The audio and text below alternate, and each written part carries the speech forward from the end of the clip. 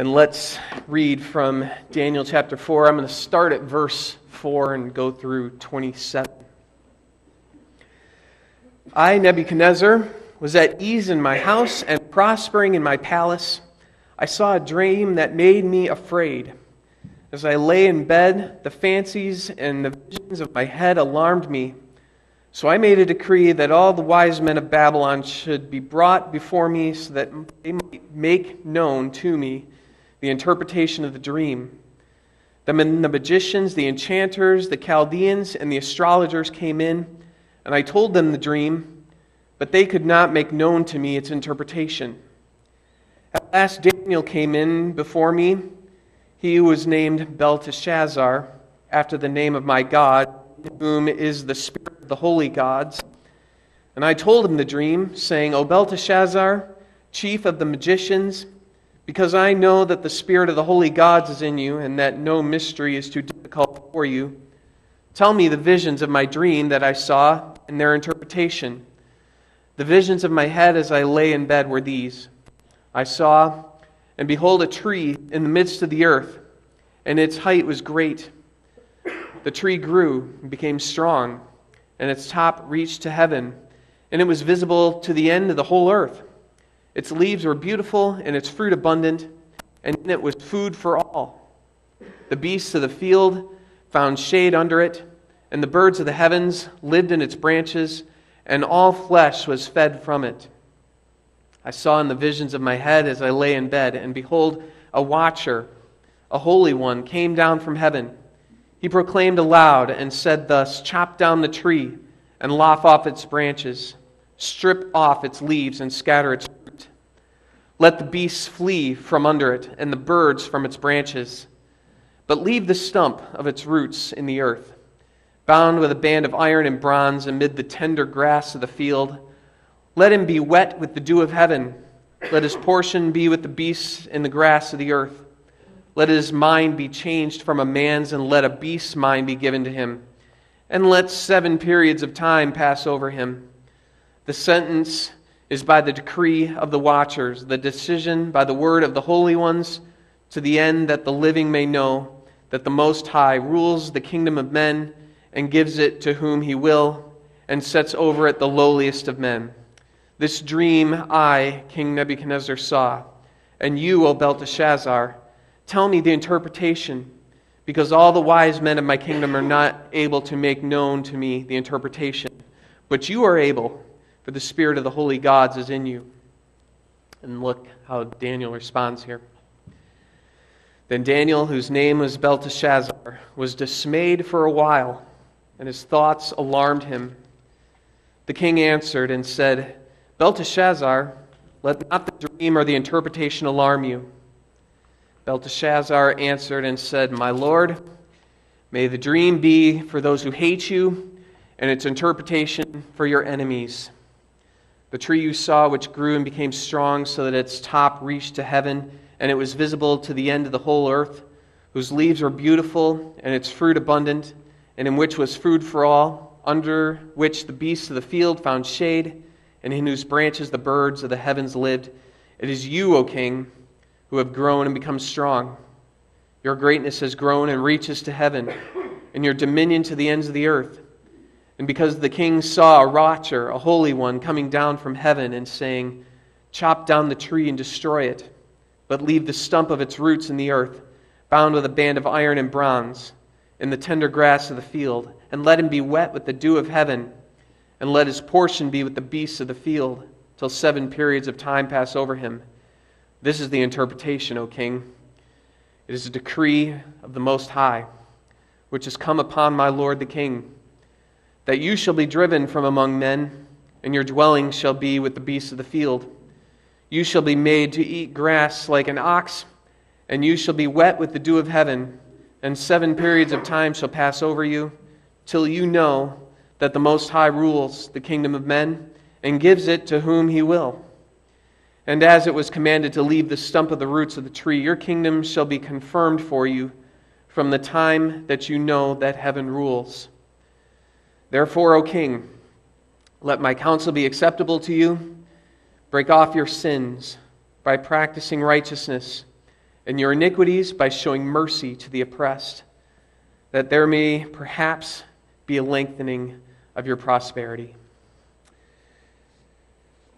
So that's our passage today. And there's a lot going on here, particularly with Nebuchadnezzar, the king, and what God is doing in his life. And there's a lot of lessons that we can learn from him. But today I want to focus on Daniel and how Daniel responded here. And notice in verse 19 there that Daniel didn't answer right away. It says that he was sitting there for a while and his thoughts were, were distraught. He knew the meaning. It said he was dismayed. He knew exactly what was going on and what this interpretation meant, obviously, because he was dismayed. But he didn't answer right away. He waited for the right time. There was a timing involved here. In the Bible, in the wisdom literature, it says in Ecclesiastes 3, verse 7, it says, A time to keep silence and a time to speak. And in Proverbs 15, 28, the heart of the righteous ponders how to answer, but the mouth of the wicked pours out evil things. So the righteous ponder how to answer. We don't just respond right away, just with negligence or, or thoughtlessness. We think and consider how to respond in the best way. And that's what Daniel was doing here. So he was waiting for a right time to give this bad news about this dream that he had. And Daniel was dismayed at the news along with the king. It says that at the beginning of what we read here that Nebuchadnezzar had a dream and it says it made me afraid. So Daniel shared this dismay with the king. He knew the king well, and he was sensitive to the king as a person. The king wasn't just somebody that he was serving, he actually cared about the king. And so, what dismayed him dismayed Daniel as well. And I do want to point out one thing here. He was not dismayed because King Nebuchadnezzar was a really nice guy or that they were really good friends. In fact, on the contrary, Daniel is essentially Nebuchadnezzar's slave. Daniel is not in Babylon on his own accord. He was snatched from his home, from his family, from his homeland, and brought all the way to Babylon, put in a place where he's never known before, with people he doesn't know. And he was made to be Babylonian, taught the Babylonian language, their literature, he was given a new name, Belteshazzar, that we read here. He was basically uprooted and put in a whole new place to be a slave to King Nebuchadnezzar. Nebuchadnezzar was not a really nice guy. It even says in verse 27 at the end, he says, Break off your sins by practicing righteousness and your iniquities by showing mercy to the oppressed, that there may perhaps be a lengthening of your prosperity. He's calling him to repent there.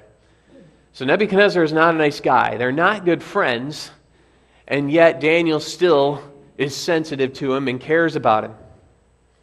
We're told to love our enemies. Christ told us to. Look at the screen here and let's answer this question together. Is it enough then that we do not kill our neighbor in any such way as murder? No by condemning envy, hatred, and anger. God tells us to love our neighbors as ourselves, to be patient, peace loving, gentle, merciful, and friendly to them, to protect them from harm as much as we can, and to do good even to our enemies. This is, this is what God calls us to do. Daniel and the king were not good friends. But Daniel is still looking out for the king's best interest, and Daniel obviously cares about the king and his well being. And Daniel's first sentence in his reply shows care and compassion. I'm just going to read that one more time here. My Lord, may the dream be for those who hate you, and its interpretation for your enemies. He kind of sets up the interpretation This is not going to be a good interpretation for you, O king. Daniel's response here shows that he had soft edges. Soft edges. I'll kind of go into a little bit more about that. But Daniel was not out to prove himself right. He's not out to show off what he knew. You know, yeah, you said that I have the spirit of the gods in me and I can interpret all kinds of things. Yeah, I got another one for you. Look at how great I am. No. He was not happy to be the bearer of bad news. Daniel knew his audience well. And he knew that it would be bad news to him. He knew how it would sound. And so he wasn't just handing over some news, he handed over the news in a sensitive, compassionate way. He had soft edges. He wanted to soften the blow of this bad news here. He had soft edges, but he had a firm center. He had a firm center. He wasn't going to mince words on what this news was. Daniel was honest and he told the truth. As much as this news was bad news for the king to hear, he didn't try to water it down. He didn't try to cut corners on it. There were some pretty sharp corners on this news. He didn't try to cut those off. He made it soft, though. But he didn't water down the content. He told the truth. God's message to the king was terribly unpleasant. Just to review a little bit, that tall tree that was in that dream, that was the king. And he had great splendor. And all kinds of animals found shade. And there was fruit from this tree that was for everybody. Because Nebuchadnezzar was, you know, the great power at that time, and he was providing food and shade and shelter to everyone at that time. But the bigger they are, the harder they fall, don't they? The king is the high tree, but he's not the most high. As somebody who's very high in the world, maybe the highest in the world, he, it's easy to kind of think, hey, I'm doing pretty good.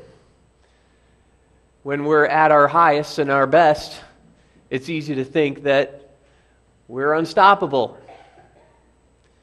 You know, for those of you who are older, when you look back into your young days, you kind of remember thinking that you're invincible and that nothing's ever going to happen to you, and you did things that were kind of reckless.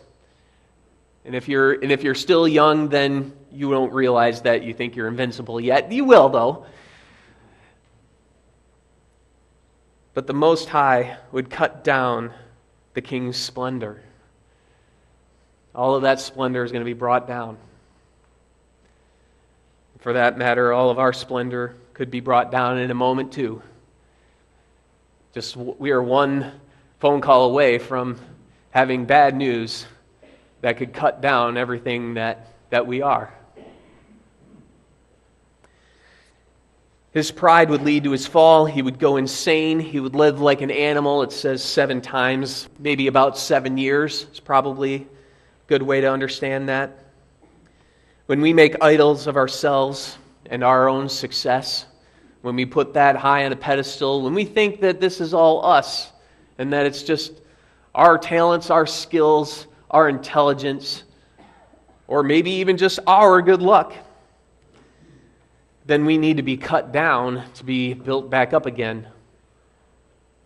Kind of like when there's a bone that is broken and it heals incorrectly it has to be broken again and be set right in order to be healed properly. When our success goes to our head and we are built up in ourselves too much, we need to be cut down so that we can be built up again the right way. Jesus in Revelation 3:19 says, "Those whom I love, I reprove and discipline." So be zealous and repent. Sometimes the bad things that happen to us, such in the case of Nebuchadnezzar, are to build us back up right again. Sometimes the, the pain that we experience is because there's a bone, a spiritual bone in our body that's healed wrong and it needs to be broken again so that we can be built back up rightly. So that's the bad news for, for the king. Daniel spoke the truth, but had care and compassion and timing in his delivery. So he had truth that was unpleasant, that was painful. But he delivered it in a way that was going to soften the blow. So just for an illustration here, I, I, uh, I talked with uh, Matthew Bronkema. Matthew, would you come on up here? Matthew's one of the uh, black belts in my Taekwondo class. And uh, he's, he's been practicing martial arts for how many years now? Ten. Ten years. Okay, so for 10 years, we have somebody here who knows how to throw a good punch. He's done it many times, and he knows how to throw a good punch really well. I've seen him break many boards, and yeah, this guy knows how to punch. So if I were to ask him to punch me right now, I would be a little apprehensive about that, wouldn't I? So if, he, if I was going to ask him to punch me right here, just, just for this, just for fun, punch, give me, give me a, give me a decent, uh, not, a, not a hard punch, but this guy could break ribs. I know that. Just do, do a do a regular punch, like a regular middle punch. Okay, good. And that was nowhere near as hard as you could have. Okay. So, when you do a punch, one of the things that, that we, we teach is that you want your arm to line up just right, and you want your fist to be level with your arm, and you want to hit with these two knuckles right here. So that when you're throwing your punch, you throw your your hips and your shoulders into it as well. When you're throwing your punch, all of this force and push is ending up in right on these two knuckles. So you can break bones pretty easily with a punch. So, what I would like, and when, because we in class actually care about each other and don't want to damage each other, we have punching gloves. Would you put at least one of those on there? Whichever one you prefer. And uh, we have chest pads.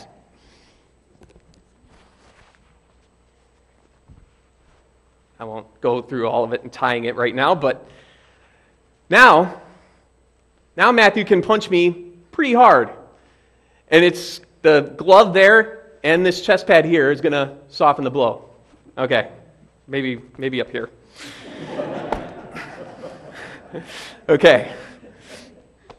So, it softens it softens the blow. So that even though he was he how hard were you punching that time? 70%. 70%? Why don't you go 80 or 90? I could take a little more because it's it's padded, it's soft. Okay. Thank you. That got the wind knocked out of me just a bit, but not too bad because there's padding. Thanks, Matthew.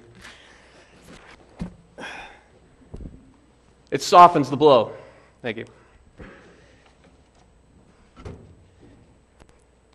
So, firm center, but soft edges.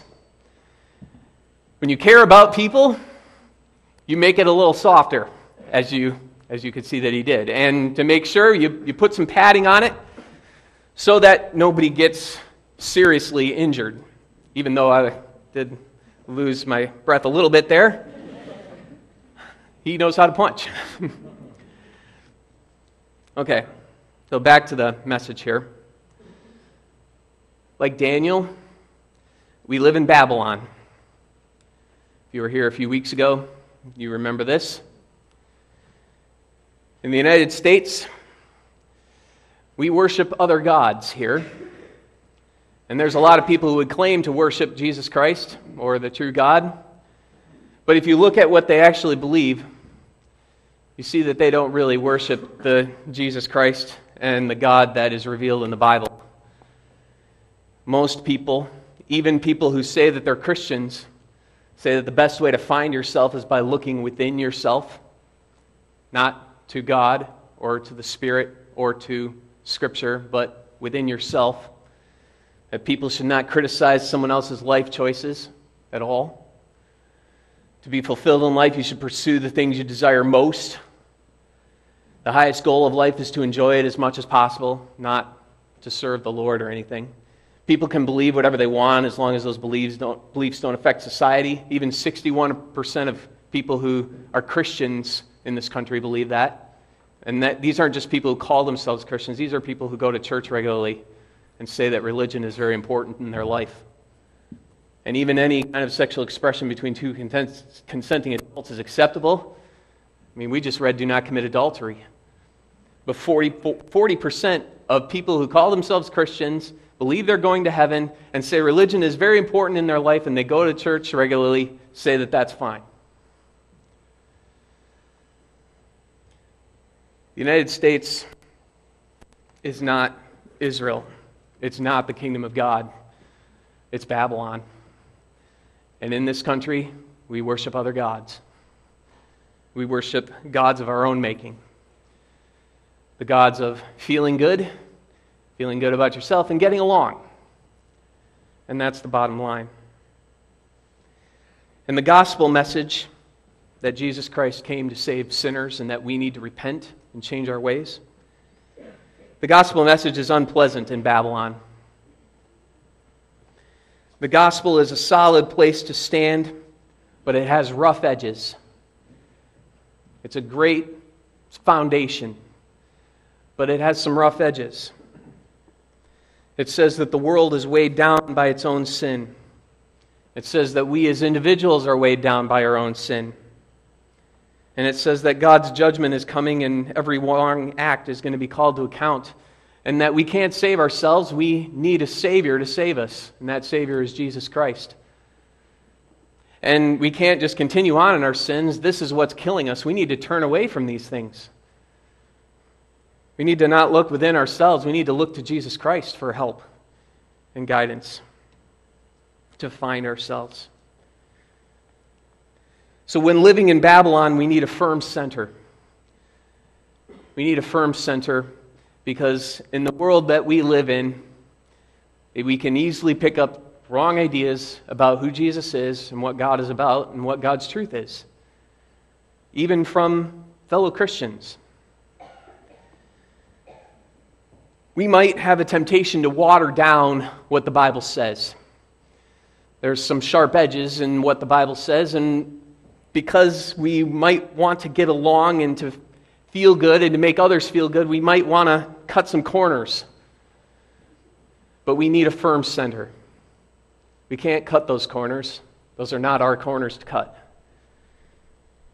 Don't cut corners on God's truth.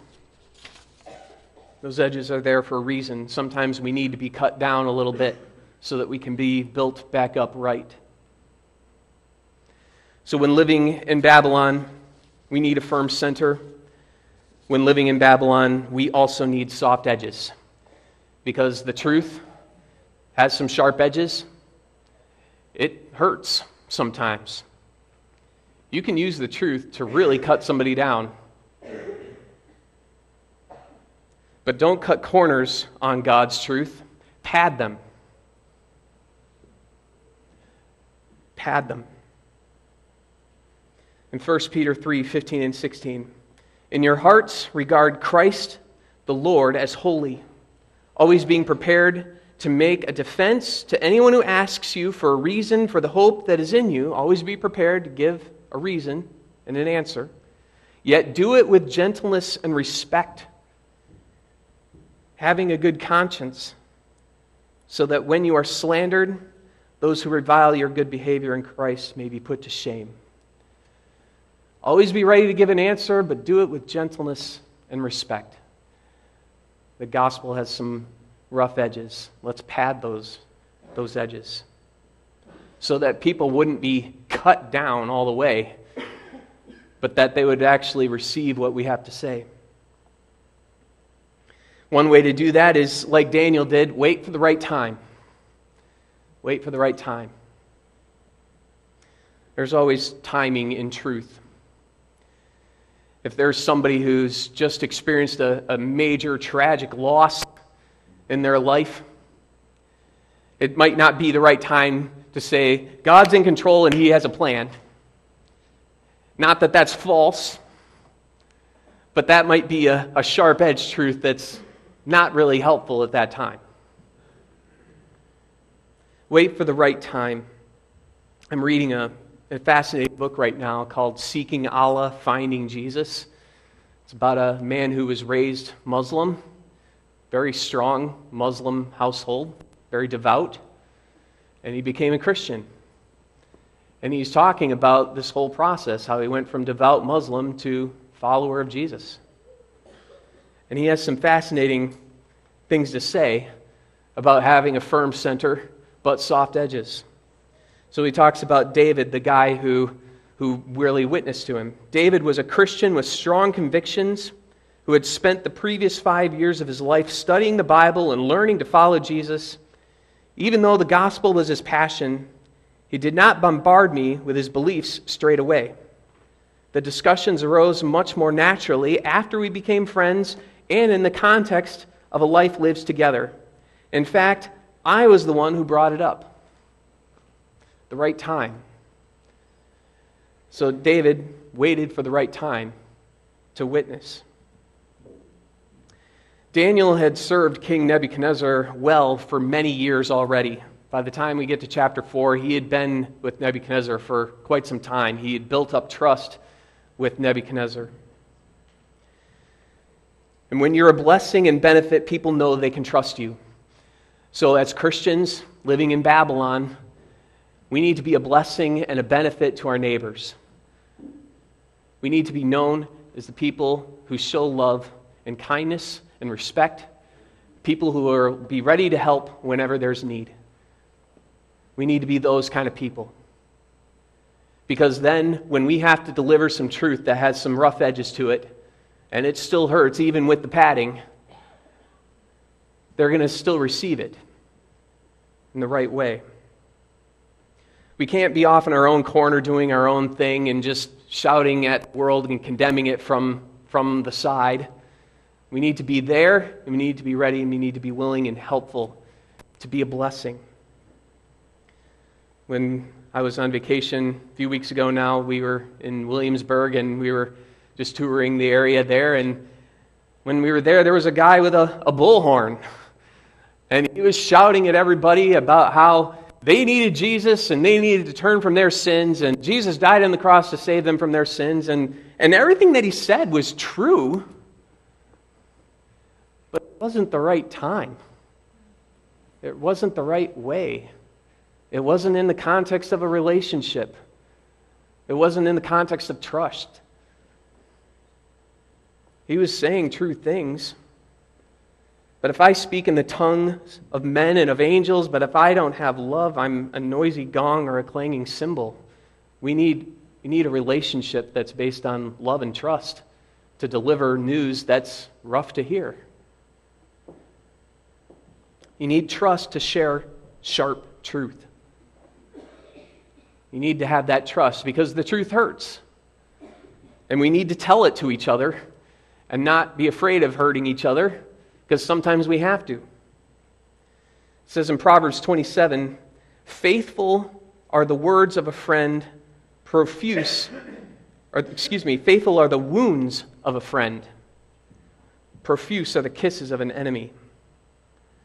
In one translation, it says, Blows from a friend can be trusted, but an enemy multiplies kisses. You need to be a friend with trust to deliver the blows that are needed sometimes. Again, seeking Allah, finding Jesus. He says, The gospel requires a radical life change.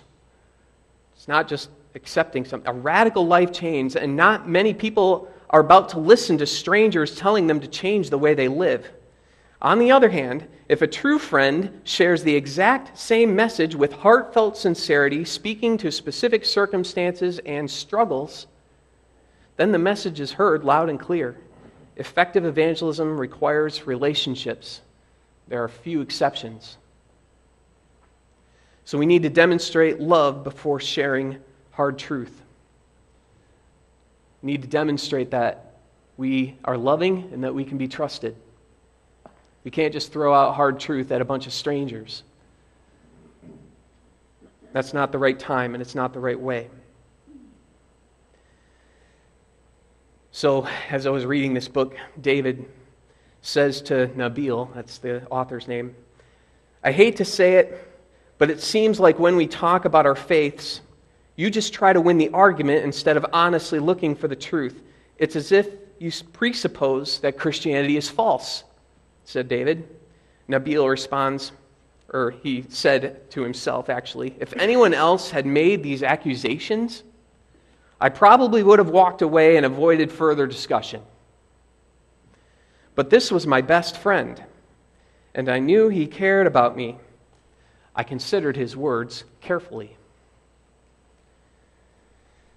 We need a firm center and soft edges.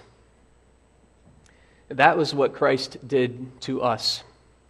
When Christ went to the cross to ta- save us from our sins, he did two things in that one action. Christ on the cross was both condemnation of sin and an ultimate act of love. In that one act, he did two things. He condemned our sin, which is hard for us to hear and hard for us to accept, but he also showed some incredible love at the same time. He had a firm center and he had soft edges. And he loved us, and because of that, we can trust him. As we live in Babylon, let's have a firm center and soft edges like Daniel, as, our, as well as our Lord Jesus Christ. And let's bow our heads and pray. Lord God, our Father in heaven, Lord, help us to have a firm center grounded in your truth, but also soft edges so that people can accept it and receive it. Help us to be a blessing, to show your love, so that, Lord, we can convey your truth even when it's difficult to accept and even to give. We pray all things in Jesus' name. Amen.